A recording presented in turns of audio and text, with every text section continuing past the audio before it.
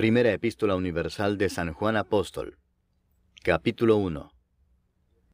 Lo que era desde el principio, lo que hemos oído, lo que hemos visto con nuestros ojos, lo que hemos contemplado, y palparon nuestras manos tocante al verbo de vida, porque la vida fue manifestada y la hemos visto, y testificamos y os anunciamos la vida eterna, la cual estaba con el Padre, y se nos manifestó.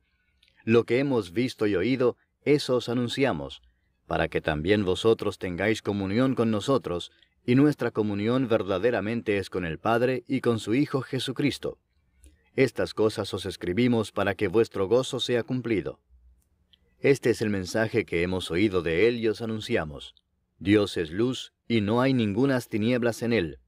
Si decimos que tenemos comunión con Él y andamos en tinieblas, mentimos y no practicamos la verdad. Pero si andamos en luz, como Él está en luz, tenemos comunión unos con otros, y la sangre de Jesucristo su Hijo nos limpia de todo pecado. Si decimos que no tenemos pecado, nos engañamos a nosotros mismos y la verdad no está en nosotros. Si confesamos nuestros pecados, Él es fiel y justo para perdonar nuestros pecados y limpiarnos de toda maldad. Si decimos que no hemos pecado, le hacemos a Él mentiroso, y su palabra no está en nosotros. Capítulo 2. Hijitos míos, estas cosas os escribo para que no pequéis. Y si alguno hubiere pecado, abogado tenemos para con el Padre a Jesucristo el justo. Y Él es la propiciación por nuestros pecados, y no solamente por los nuestros, sino también por los de todo el mundo.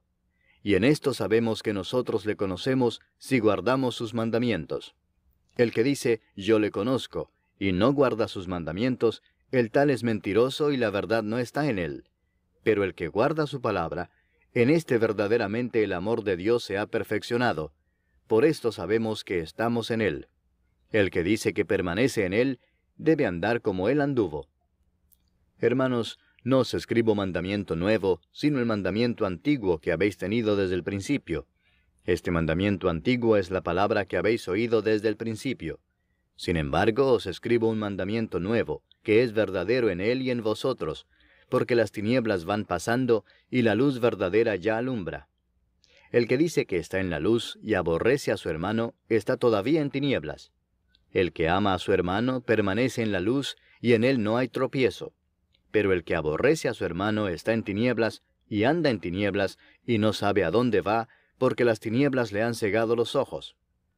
Os escribo a vosotros, hijitos, porque vuestros pecados os han sido perdonados por su nombre. Os escribo a vosotros, padres, porque conocéis al que es desde el principio. Os escribo a vosotros, jóvenes, porque habéis vencido al maligno. Os escribo a vosotros, hijitos, porque habéis conocido al Padre. Os he escrito a vosotros, padres, porque habéis conocido al que es desde el principio. Os he escrito a vosotros, jóvenes, porque sois fuertes, y la palabra de Dios permanece en vosotros, y habéis vencido al maligno. No améis al mundo, ni las cosas que están en el mundo. Si alguno ama al mundo, el amor del Padre no está en él. Porque todo lo que hay en el mundo, los deseos de la carne, los deseos de los ojos y la vanagloria de la vida, no proviene del Padre, sino del mundo. Y el mundo pasa y sus deseos, pero el que hace la voluntad de Dios permanece para siempre.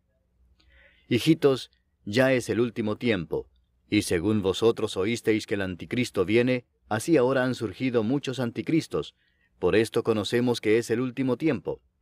Salieron de nosotros, pero no eran de nosotros, porque si hubiesen sido de nosotros, habrían permanecido con nosotros, pero salieron para que se manifestase que no todos son de nosotros. Pero vosotros tenéis la unción del Santo y conocéis todas las cosas. No os he escrito como si ignoraseis la verdad, sino porque la conocéis y porque ninguna mentira procede de la verdad. ¿Quién es el mentiroso sino el que niega que Jesús es el Cristo? Este es anticristo, el que niega al Padre y al Hijo. Todo aquel que niega al Hijo tampoco tiene al Padre. El que confiesa al Hijo tiene también al Padre. Lo que habéis oído desde el principio permanezca en vosotros. Si lo que habéis oído desde el principio permanece en vosotros, también vosotros permaneceréis en el Hijo y en el Padre. Y esta es la promesa que Él nos hizo, la vida eterna. Os he escrito esto sobre los que os engañan, pero la unción que vosotros recibisteis de Él permanece en vosotros, y no tenéis necesidad de que nadie os enseñe.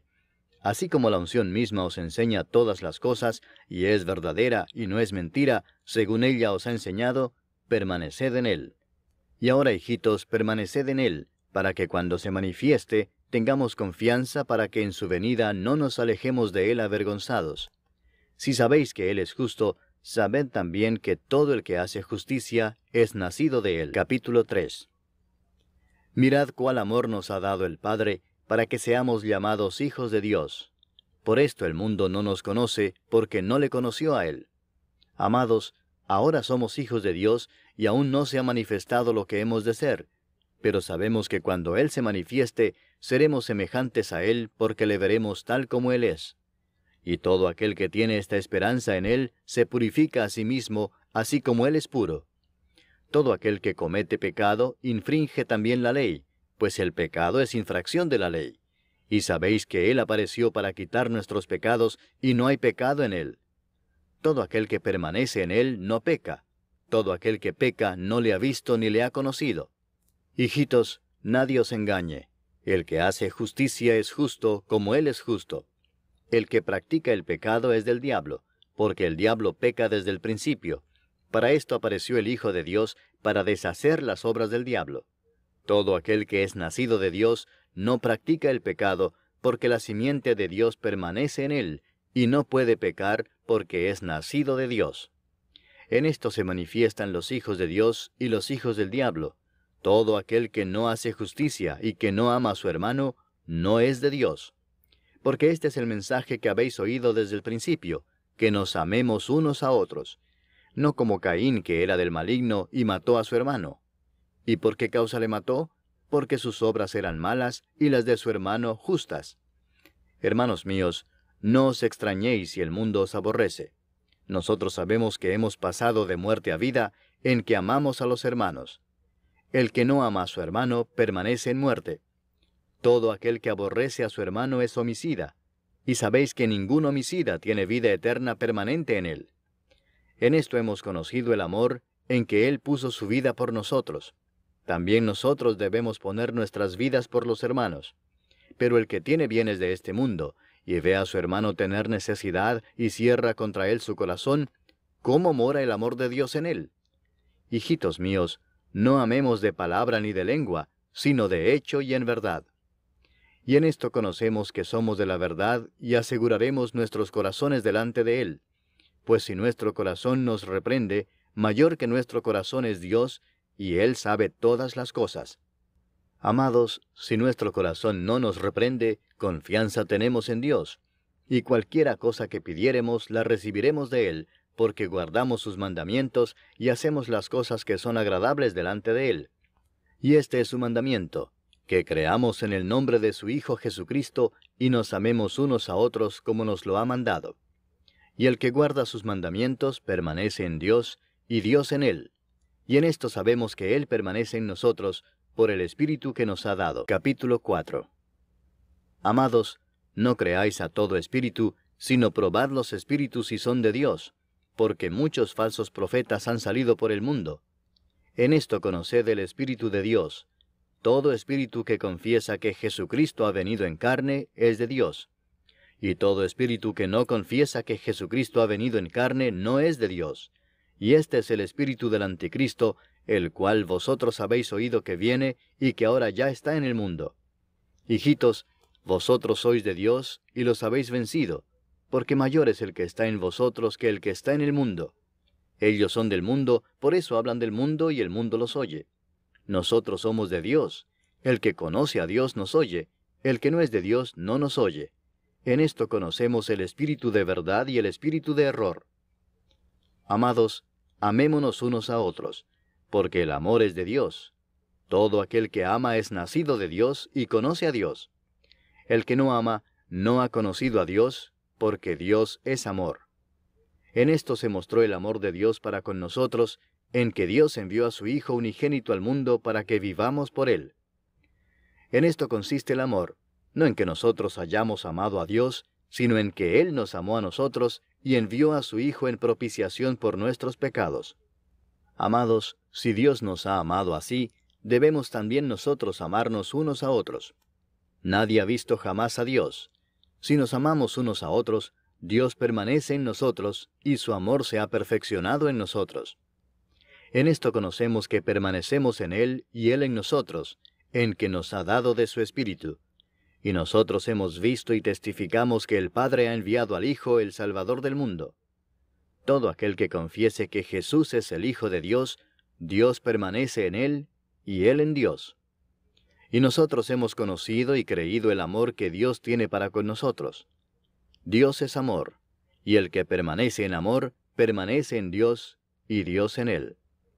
En esto se ha perfeccionado el amor en nosotros, para que tengamos confianza en el día del juicio, pues como Él es, así somos nosotros en este mundo. En el amor no hay temor, sino que el perfecto amor echa fuera el temor, porque el temor lleva en sí castigo, de donde el que teme no ha sido perfeccionado en el amor. Nosotros le amamos a Él porque Él nos amó primero. Si alguno dice, yo amo a Dios y aborrece a su hermano, es mentiroso, pues el que no ama a su hermano a quien ha visto, ¿cómo puede amar a Dios a quien no ha visto?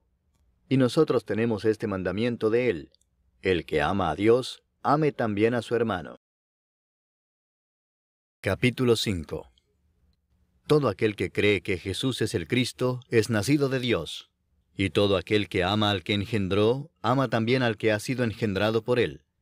En esto conocemos que amamos a los hijos de Dios, cuando amamos a Dios y guardamos sus mandamientos. Pues este es el amor a Dios, que guardemos sus mandamientos, y sus mandamientos no son gravosos. Porque todo lo que es nacido de Dios vence al mundo, y esta es la victoria que ha vencido al mundo, nuestra fe. ¿Quién es el que vence al mundo sino el que cree que Jesús es el Hijo de Dios? Este es Jesucristo que vino mediante agua y sangre, no mediante agua solamente, sino mediante agua y sangre. Y el Espíritu es el que da testimonio, porque el Espíritu es la verdad. Porque tres son los que dan testimonio en el cielo, el Padre, el Verbo y el Espíritu Santo, y estos tres son uno. Y tres son los que dan testimonio en la tierra, el Espíritu, el agua y la sangre, y estos tres concuerdan. Si recibimos el testimonio de los hombres, mayor es el testimonio de Dios, porque este es el testimonio con que Dios ha testificado acerca de su Hijo. El que cree en el Hijo de Dios tiene el testimonio en sí mismo. El que no cree a Dios le ha hecho mentiroso porque no ha creído en el testimonio que Dios ha dado acerca de su Hijo. Y este es el testimonio, que Dios nos ha dado vida eterna, y esta vida está en su Hijo. El que tiene al Hijo tiene la vida. El que no tiene al Hijo de Dios no tiene la vida. Estas cosas os he escrito a vosotros que creéis en el nombre del Hijo de Dios, para que sepáis que tenéis vida eterna, y para que creáis en el nombre del Hijo de Dios. Y esta es la confianza que tenemos en Él, que si pedimos alguna cosa conforme a su voluntad, Él nos oye. Y si sabemos que Él nos oye en cualquiera cosa que pidamos, sabemos que tenemos las peticiones que le hayamos hecho. Si alguno viere a su hermano cometer pecado que no sea de muerte, pedirá y Dios le dará vida. Esto es para los que cometen pecado que no sea de muerte. Hay pecado de muerte por el cual yo no digo que se pida. Toda injusticia es pecado, pero hay pecado no de muerte. Sabemos que todo aquel que ha nacido de Dios no practica el pecado, pues aquel que fue engendrado por Dios le guarda, y el maligno no le toca. Sabemos que somos de Dios, y el mundo entero está bajo el maligno. Pero sabemos que el Hijo de Dios ha venido y nos ha dado entendimiento para conocer al que es verdadero. Y estamos en el verdadero, en su Hijo Jesucristo. Este es el verdadero Dios y la vida eterna. Hijitos, guardaos de los ídolos. Amén.